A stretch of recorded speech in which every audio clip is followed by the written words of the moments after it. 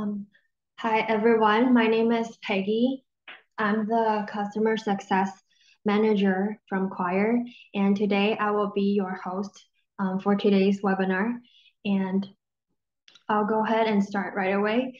Uh, for today's webinar, it's for the absolute beginners and for those people who don't know what Quire is and um, aren't that familiar with Quire.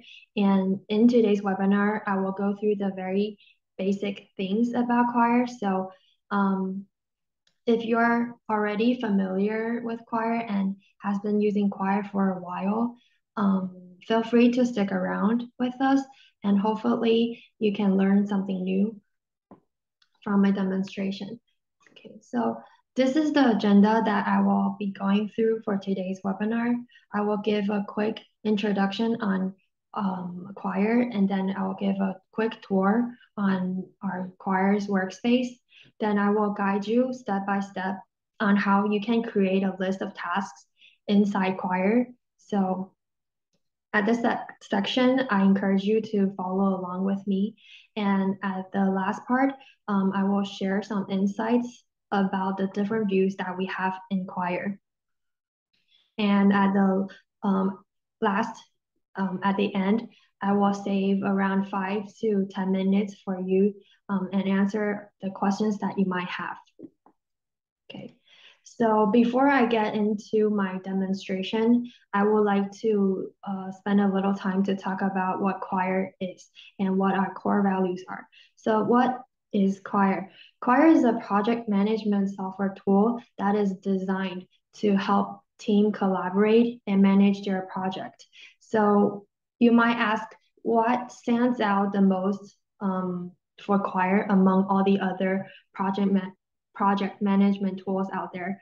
It is that we are um, easy to use and we have a simple and clean interface. So you can cut the learning curve when you are onboarding new users or um, new team members um, onto our uh, project management tool. So inside Quire, we offer different, we support different features. Um, at the beginning, we started with a nested task list. And what this is, is you can think of it as a regular task list, but the difference is that it is uh, nested. So you, you can create as many task levels as you like. And we also support different views for Quire for your project, and uh, which includes the board view, the timeline view, and calendar view. So these four views that I have mentioned um, are interchangeable, which means that for the same project that you have, you can change them among these four views and view your project differently for your project members. So right now I will go ahead and switch to um, the Quire workspace and show you how you can create a list of tasks. Okay, so okay, so you will see a empty project on your screen right now. Uh, this is a blank project. Um, okay, uh, when you first sign up for a Quire account, you can you will be able to see this view directly, and uh, you can start go ahead and start right away to create tasks um, right away. But you don't have to go through all the other complicated steps of creating projects or um, organizations. But uh, before that, before I show you how you can create a list of tasks, I want to go ahead and change to the meeting agenda project that I prepared and give you a quick tour on Quire's workspace. So at the left-hand side right here, you will see this gray area. This is what we call the um, sidebar. So um, in this section, it will list out all the uh, projects and organizations that you might have. And um, on the right-hand side, this big section, this is what we call the main panel. And um, when you click on the project and organizations right here, this main panel will change as well. And if you double click like this on a task, um, it will open up the detail panel like this. and it will show more information about the task that you see right here. So here in the detail panel, you will see the task name and also who is in charge of the task and also the dates and um, tags and other information. Okay, so I'll go back to the empty project um, to show you how you can create uh, a list of tasks. So I would like to um, set up a scenario for you first. Um, for today's example, I want to be a coordinator for my translation project. And my goal here is to use Quire to uh, let the team members, let my translators know that uh, what needs to be done and when the task needs to be finished. So here, I will use this project to break my steps down. So as a coordinator, I have four steps in mind, um, which are translate and review, publish, and billing. So I can use the task feature to help me do this. So um, by clicking on this blank area right here, I can type in my first task, which is translate. And then I can press enter, then the indicator will jump to the next task. Then I can go ahead and type in review and then enter and publish and then billing. And then I can uh, click on the blank space right here to uh, let it save automatically. So right now you can see that I have already break my project down into four um, steps. But my next goal is to break things down more further. So for example, uh, I would like my translators to know that there are two more works, um, two more articles that need to be translated. And by this, I can use the subtask feature to help me do that. So I can click on this subtask icon right here, and then I can add more another level, which is work number one, then enter, and then work number two. So as I mentioned earlier, in Quire, you can create as many levels as you like. So for example, um, for work number one, let's say that the translator missed um, mistranslating uh, line one to line three. So I want to let him know about it. Uh, so I can add another subtask here like this, line one to line three. And as you can see that I have my project coming into form like this right now, but my next goal is to let the translators know that there is a task assigned to him. So I will use the assignee icon right here to assign the task to the person.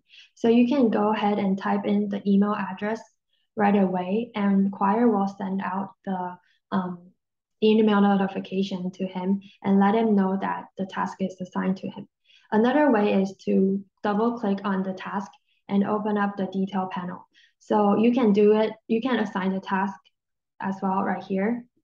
And at the uh, side, you can also add dates to the task. So what date does is when you add dates to the task, it will tell, it will let the project member know that um, when the task should start and when it should finish. And also you can add tags to the task. So for my example, if I add marketing, I can use tags to help me categorize and organize my task list. And later on, I can use the um, filter bar right here to help me filter um, a list of tasks um, and also narrow down what I need to see. Yeah, so back to my detail panel. In the detail panel, you can also add descriptions. So this is um, pretty straightforward. You can add more information here in this area. Also, you can attach um, images and files to the task as well. And down at the bottom, here is the comment area. So here, um, you can ask your project members to comment their project um, task status or you can hold discussions right here. So everybody can stay on the same page. Yeah, so these are the basic things that I want to cover for um, how you can create a list of tasks. And now I will switch to the meeting agenda project that I've shown you earlier and talk a little bit about um, the different views that we have in Quire. So um, in this view, you can see that it's a project for meeting agenda. And right now, um, I am the nested task list view. So like I said, I use tasks and subtasks to help me um, list down um, the different meetings that I have for my different teams. So here you can see I have um, previous meeting and the meeting for this week and um, upcoming meeting. And what if I want to track my project's progress in a status, status way? So I can do that by change it, changing my project into board view. So by doing that, I can click on this board icon right here, or I can use the um, keyboard. You can press two on your keyboard. So you can now see that my project is changed to a board view and it is separated into different columns. So each column actually stands for um, different statuses. And in this view, you can also hover between different columns to add more status as you like. You can also customize and edit the percentage for each status. And um, this will help you to um, visualize your uh, project in the project progress in a visual way. So when a task is being done or being picked up by a project member, um, you can drag and drop the task to the uh, certain status like this. So as your project moves forward, you will see that the task will continue to move um, to the right and toward the completed status right here, which means that, okay, my project is on track. And later on, what if I want to track my progress in a timeline manner? I can use the timeline view that we have. Click on this icon right here, or you can, again, um, you can uh, press number three on your keyboard. So now, right now you can see that my project is changed to a timeline view. Um, here it will give you a visual idea of how long your project need to um, finish or need to be completed. And when you scroll, you can see the tasks that has dates show up as taskbar in the timeline view. Also, on the left-hand side, we will also sh uh, show the tree view. So you the list will still be here, and you can also click on the dots right here. Um, and our timeline view will scroll into the time frame for that task. And also in this view, you can also click on the bar right here to set the task to set the dates directly like this. And okay, the last view that we have is our calendar view. Um, you can click on this icon or you can click on this icon or you can press four on your keyboard. So um, this view is pretty straightforward. Uh, you can use this view to plan out your task or events for your task. And when you hover over the dates, you can see that there's an add icon right here. You can add new task to the project right away. So um, in this calendar view, you can also change to different view modes. So for example, right now I am in the month view, but I want to view my um, calendar in a day view or week view or year view, or even the schedule view. So um, Quire is one of the um, very few project management tool that offers the schedule view. So what a schedule view does is, is that we list out the tasks that have dates only. So you will be able to see um, and focus on the task that needs to be done um, by a certain date. Yeah, so this is um, all the things that I want to cover for today, today's webinar. I want to keep it short um, and not that overwhelming for our new users. And I will now go and move on to our um, Q&A.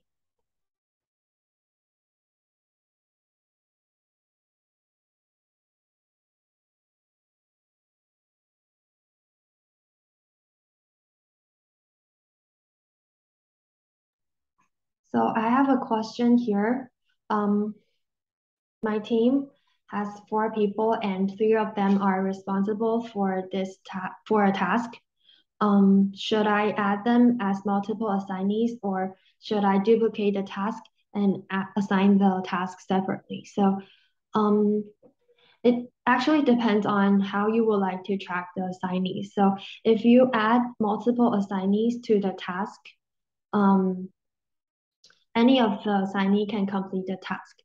So it won't matter who completes the task. But if you want to make sure that each uh, each of the assignees complete the task at least for at least one time, you will be you should um, duplicate the task three times and then assign the task separately.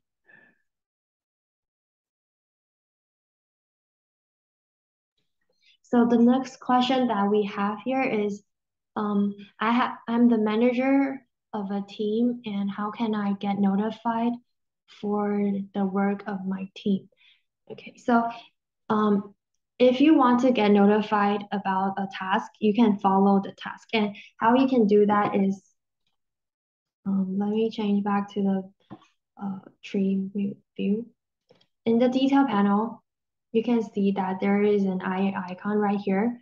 Um, you can follow the task right here like this. And when you follow a task, you will get notified um, about all the modifications done to that task.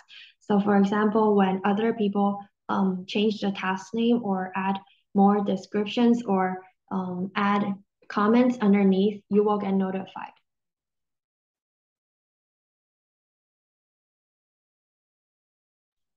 So another question that we have is, I saw the icons for calendar view and timeline view, but I cannot access it. Okay, so um, these both views, calendar view and timeline view are exclusively for the um, professional and higher tiers, but you can always uh, start a trial for um, to test them out for free for one month. So how you can do that is by going to the pricing page and uh, you, you should be able to see a button to start a new trial for your organization.